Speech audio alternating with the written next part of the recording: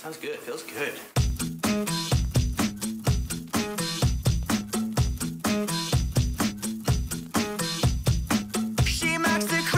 네, 대선 전 마지막 시간이 될 것 같습니다. 대선에 꼭 이뤄야 되는 주제들에 대해서 함께 나누는 시간입니다. 국민연금 개혁 더 이상 미룰 수 없는 과제입니다. 9일 누가 당선되든 차기 정부의 핵심 화두가 될 것이고요. 돼야 되고요. 왜냐하면요. 국민연금은 저의 유일한 노후 대책이기 때문입니다. 현재 국민연금의 문제점 그리고 대선 후보들의 국민연금 개혁안에 대한 것들 한번 살펴볼게요. 한국보건사회 연구원 최연수 사회보장재정 정책연구 실장 나오셨습니다. 실장님 어서 오세요. 네, 안녕하십니까? 반갑습니다. 네. 한국 보건사회 연구원 어떤 것들 연구하시는 거예요? 어, 국민들의 일상적 삶에 영향을 미치는 모든 정책들을 연구한다고 보시면 되고요. 네. 어, 시장의 영역이 아니라 정부를 포함한 공공의 영역에서 어, 국민들을 지원하는 여러 정책들, 음, 어, 국민연금 개혁을 포함해서 음, 연구를 하고 있습니다. 네. 지난 20년 동안 어, 우리 사회에 가장 큰 영향력을 미친 어, 사회정책 연구기관으로 어, 계속 꼽히고 있고요. 네. 국민들 일상에 정말 아주 가깝게 영향을 끼치는 네. 사안들에 대해서 시장의 논리가 아닌 네. 네, 정부와 또 공공 공동체의 입장에서 네. 이 연구를 하시는 기관입니다. 한국보건사회연구원에서 나온 여러 자료들 사회에서도 굉장히 유용하게 쓰고 네. 언론에서도 많이 활용하는 거 잘 알고 있는데요. 오늘은 이곳에서 사회보장재정 정책 연구를 하고 계시는 최현수 실장과 함께 국민연금 이야기 나눠볼게요. 대선 진짜 얼마 남지 않았어요. 이 국민연금이 이번 대선에서 꼭 다뤄져야 하는 거 맞죠? 네, 틀림없이 맞는 이야기고요. 어, 오늘 오전에도 사실 저희 연구원에서 공적연금 개혁 대토론회를 발빠르게 준비해서 음. 이미 참석했다가 오는 길인데요. 네. 어, 연금 개혁 논의가 꼭 필요한 것은 세 가지 이유입니다. 음. 어, 우선은 어, 연금 재정의 지속 가능성이고요. 이 부분은 앞으로 다가올 국민연금의 재정 문제뿐만 아니라 이미 적자 상태인 공무원이나 군인 등 특수직역 연금도 관련되어 있고요. 네. 두 번째는 이제 노후소득 보장과 관련된 부분인데 다 아시는 것처럼 OECD에서 우리나라가 독보적으로 노인 빈곤율이 42%대로 네. 가장 높고 OECD 평균보다도 세배 정도 수준입니다. 그렇기 때문에 실제로 이 재성, 재정의 지속 가능성과 어, 보장성을 높이는 부분은 선호 문제가 아니라 음흠. 동시에 고려가 돼야 되고요. 거기에다가 어, 지금 앞서서 뭐 택배 노동자분들 말씀해 주셨는데 그 연금의 사각지대에 계신 많은 특고나 프리랜서분들 또 맞습니다. 자영자들이 있습니다. 음. 이분들을 음. 연금 제도 안으로 포괄하도록 하는 문제도 굉장히 중요하기 때문에 다음 정부에서 출범하자마자 바로 다뤄줘야 되고요. 또 한 가지 이렇게 된 이유는 어, 지난 2007년도에 참여정부에서 국민연금 개혁한 이후에 15년 동안 미세한 조정이나 지원 말고는 아무것도 하지 않았습니다. 이번 네. 정부에서도 2018년도에 어, 재정재계산 결과를 바탕으로 연금 개혁안이 네 가지 마련됐었는데요. 당시에 이제 국민 눈높이에 안 맞다. 또 코로나 상황이 겹치면서 맞아요. 국민연금 기억나요. 개혁을 추진하지 못하고 이제 정부가 어, 마무리되는 상황입니다. 맞아요.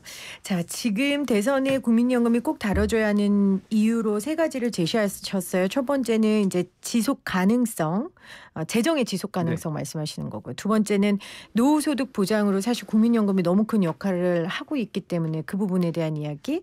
그리고 사실 모두가 국민연금을 받는 게 아니란 네. 말이에요. 어, 그런 분들을 어떻게 국민연금 테두리 안으로 네. 우리가 가지고 올, 대- 모시고 올 수 있을까 이런 관점에서 국민연금은 더 이상 미룰 수 없는 과제다라고 주장을 해주셨습니다. 자 그러면 이번에 대선 후보들의 관련 공약과 또 후보들 간의 토론이 충분히 이루어졌다고 음, 평가하십니까? 아마 충분하다고 생각하시는 분은 아무도 없을 것 같고요. 충분했으면 제가 안 모셨죠 네. 네, 그럴 것 같습니다. 네. 다만 이제 아마 이제 그 단일화로 그 후보를 사퇴했지만 어, 안철수 전 후보는 좀 기억이 될 것 같습니다. 왜냐하면 국민연금 그 개혁을 누구가 대통령이 되든지 간에 해야 돼, 해야 된다라는 약속을 받아내셨잖아요. 네, 약속을 받았기 때문에 네. 어, 아마 기억할 부분은 있을 것 같은데요. 그 다음에 이제 3차 토론회가 어, 지난 음. 2일 날 있었는데 네네. 사회정책 분야를 주로 다루기 때문에 어, 연금을 좀 깊이 있게 다루지 않을까라는 생각을 했는데 음. 일단은 선관위에서 집중 토론 주제로 연금을 어, 선정하지 않았고요. 그 다음에 어, 토, 후보자들 간의 주도권 토론이라든지 이런 쪽에서도 국민연금에 대한 논의가 어, 아주 구체적으로 많이 진행되지 않아서 네. 어, 뭐 이번 대선 전에 사실은 너무나 중요함에도 불구하고 충분히 다루어지지 않은 이슈가 어, 연금 개혁이다. 그리고 음. 공약집을 보더라도 사실 어, 연금 개혁 위원회를 만들어서 추진한다. 뭐 그다음에 기본적인 방향성 정도만 있지 음. 어, 구체적인 내용은 담기지 않은 상태입니다. 필요성이 이렇게 높은데도 2007년 이후에 전진하지 못했고 네. 이번에도 토론이 안 된 건 이유가 있긴 있는 거죠. 어, 일단은 이제 국민연금은 앞서 말씀드린 것처럼 사실은 굉장히 다양한 어, 현실적인 상황들이 너무나 다른 분들이 많이 있기 때문에 네. 그리고 어, 외국의 사례를 보더라도 이 연금 개혁은 정치적으로 굉장히 어려운 주제고 특히 이제 선거 국면에서 구체적인 방안을 내놓기는 어렵다라는 부분이고요. 음. 그래서 어, 네당 중에 사실 아주 구체적인 안을 제안했던 정의당 같은 경우에는 뭐 진보의 금기를 깼다 뭐 이런 음. 평가를 받기도 하는데 그렇군요. 상대적으로 가장 구체적인 안을 내놓은 상태입니다. 자, 정의당 말씀하셨으니까 저희가 구체적인 안들 조금 뒤에 살펴보도록 하고요. 그 전에 이제 국민연금 상태를 좀 짧게라도 네네. 짚어봐야 될 것 같아요. 일단 간단하게 90년대생은 이제 노인이 되면 못 받는다. 막 이런 네. 말이 있어요. 네. 이거 맞습니까? 사실 국민 국민연금 개혁 필요성을 많이 이야기하면서도 이제 이런 방식의 접근은 별로 그. 없었는데 음. 어, 어떻게 보면 좀 지나치게 단순한 음흠. 방식이기도 하고요. 특히 이제 재정의 지속 가능성을 중심에 놓고 개혁의 목소리를 내시는 분들이 어, 어떻게 보면 기존의 그 공포 마케팅에다가 세대 갈등론을 아, 결합시켜서 그렇네요. 좀 이슈화시키는 데는 성공하신 것 같고요. 이런 이야기의 근거는 어, 정부가 2018년도에 발표했던 재정 재계산 결과에 42년도부터 이제 기금이 줄어들기 시작하고요.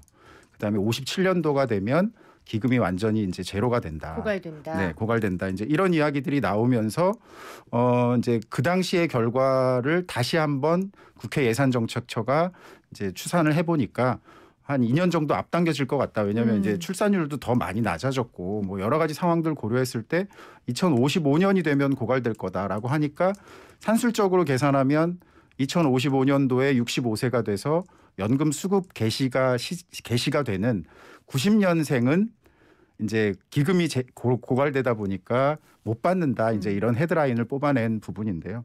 사실 이제 설령 이것이 현실화된다 하더라도 다른 나라 사례처럼 국민연금은 부가 방식으로 전환해서 유지가 될 수는 있는데 네네. 다만 어, 미리 준비하지 않으면 어, 연금 기, 기금의 고갈 시점이 더 앞당겨질 수도 있고 또 부가 방식으로 전환될 때 굉장히 큰 보험료를 그렇겠죠. 그 당시 세대가 부담해야 되는 문제가 있기 때문에 사실 90년대생은 못 받는다라는 건 단순히 세대 갈등론을 넘어서 앞서 말씀드린 것처럼 연금 개혁이 굉장히 시급한 과제고 더 이상 미룰 수 없는 상황이다라는 거를 어, 강조하고 있다고 음. 볼수 있습니다. 그러니까 국민연금은 나라가 망하지 않는 한 받을 수는 있다. 이건 맞죠. 네. 그런데 지금 개혁하지 않으면 네. 어, 누군가는 너무 많은 부담을 질 것이고 네. 또 받는 사람도 그때 물가에 대비 너무 적게 받다 네, 네, 보면 네. 노인 민곤율이 더 높아질 수 네, 있으니 네. 지금 우리가 구조적인 조정을 하지 않으면 안 된다. 네, 네. 그런 말씀이신 것 같아요.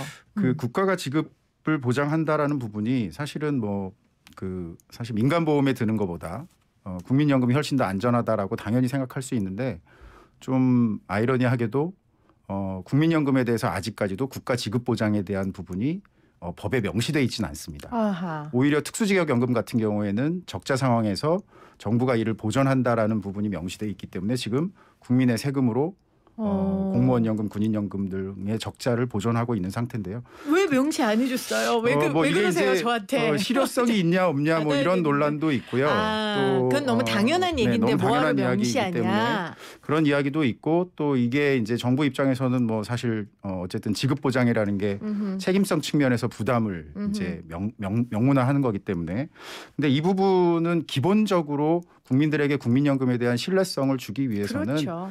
어, 개혁 추진하면서 꼭 필요한 부분이라고 할 수 있습니다. 음, 알겠습니다. 국민연금 유일한 노후 대책이란 말이에요. 네. 저한테 이러시면 안 돼요. 국가가 네, 네. 열심히 지금 세금 내고 있는데 알겠습니다. 자. 어, 그러면 국민연금 개혁은 뭐 누가 되든 하긴 할까요? 믿어도 되겠습니까? 어, 저는 이번에는 더 이상 없다. 회피하실 수 없을 거라고 보고요. 어, 앞서 말씀드린 것처럼 다만 이제 아직 구체적인 내용이 제시가 되지 않았고 어, 그냥 이제 공약이라든지 이런 내용을 통해서 어, 연금개혁위원회를 만들어서 최대한 빨리 추진하겠다라는 정도가 좀 공통적이고 네. 어, 국민연금 말고 이제 기초연금이 있는데 기초연금 수준을 현행 30만 원에서 어, 40만 원으로 또 10만 원 인상하겠다라는 것은 그동안의 대통령 선거를 통해서 사실은 도입 이후에 음흠. 10만 원에서 20만 원, 이번 정부에서는 30만 원, 또 이제 다음 정부에서는 40만 원 올리는 부분에 대해서는 모든 당이 제시하고 있기 때문에 이 부분은 이제 진행이 될 것 같고요. 네. 다만 이제 현 정부도 사실은 지난 대선 때 연금 개혁에 대한 공약이 제시가 되었죠. 네. 그런데 현실적으로 이제 지키지 못한 꼴이 된 거고요. 그때는 그렇기 어떤 때- 약속을 제시했었어요? 그때도 이제 연금 개혁에 대해서는 비슷한 논의들이 네. 있었습니다. 네. 그러니까 연금 음, 재정 재계산을 통해서 이제 국민연금 개혁을 합리적으로 추진하겠다라는 부분은 제시가 되었던 거고요. 그래서 이제 그 2018년도 그 재정 재계산 결과를 가지고 구체적인 안까지 만들었는데 네, 네. 이제 사회적 합의를 통해서 실제 개혁을 추진하는 데는 실패했던 거고요. 음흠. 그렇기 때문에 단순히 그냥 다음 정부에 될 거다라고 믿어서는 안 될 것 같고 저는 새 정부 출범 직후에 이 연금개혁위원회 구성이라든지 또 당장 내년에 있는 재정재계산 실제 준비 작업 네. 이런 것들을 좀 적극적으로 추진하는 모습들 그리고 실제 국민들이 연금에 대해서 어, 정확한 정보를 어, 알지 못하는 내용들이 있는데 네. 이제 이런 것들을 국민연금뿐만 아니라 각 특수직역연금의 현재 상황이라든지 앞으로의 어떤 전망과 관련된 객관적인 근거들을 음. 좀더 투명하게 공개하는 것들 음. 이제 이런 것들이 좀 추진이 된다면 좀 믿어도 되지 않을까 네. 그런데 이제 그 과정에서 국민들이 관심을 가지고 언론에서도 어, 이렇게 계속 그 추진될 수 맞아요. 있도록 계속 그 언급을 해주셔야 될것 음, 같습니다. 음. 그러니까 누가 되든 할 수밖에 없는 상황이고 누가 되든 일단 출범하자마자 연금개혁위원회 구성하고 또 재정 산출하는 조직을 좀 재정비해서 네, 네. 어, 이 문제의 논의를 시작해야 한다라고 얘기를 해주셨어요. 그러니까 지금 저도 이- 이거 이 주제 관련 공부하면서 각 후보들이 어떤 안을 내놨나 구체적으로 봤는데 이재명 후보는 연금개혁위원회 구성하고 2023년 연금개혁안 마련하겠다. 윤석열 후보는 대통령 직속 연금개혁위원회 설치하고 사회적 합의 아래 연금개혁 네. 추진하겠다라고밖에 없어요. 네, 네. 그런 네. 그러니까 이게 과연 진짜 될 것인가? 아까 말씀하신 것처럼 이번 정부 안에 안까지 내- 만들었는데 네.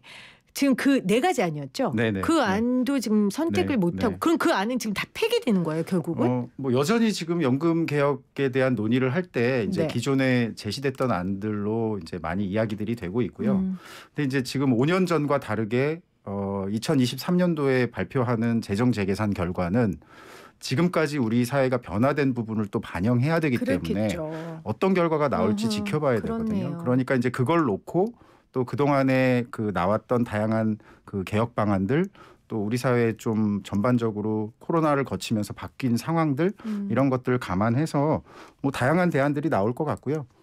어, 연금 개혁 백가쟁명 백가쟁명이라고 어, 어떤 일, 그 언론사에서 이렇게 표현을 했는데 음, 사실은 연금 개혁에 대한 연구나 논의에 참여하는 전문가들도 개개인마다 다 생각들이 다르고 네. 또 국민들도 어, 경제활동 상황이라든지 또 본인들이 처해 있는 어떤 여러 가지 여건들을 고려하면 입장들이 너무 다르기 때문에 그렇죠. 이걸 이제 어떻게 사회적 합의를 도출하느냐가 음. 굉장히 중요하고요. 어쨌든 말씀드린 것처럼 국민들에게 어떻게 신뢰를 줄 것인지 음, 그리고 사회적 합의를 이끌어낼지가 어, 지도자로서 굉장히 중요한 음. 어, 내용이 될 것 같습니다. 그러면 국민연금 개혁이 당장 하긴 해야 되지만 하루아침에 되는 일은 아니니까 네.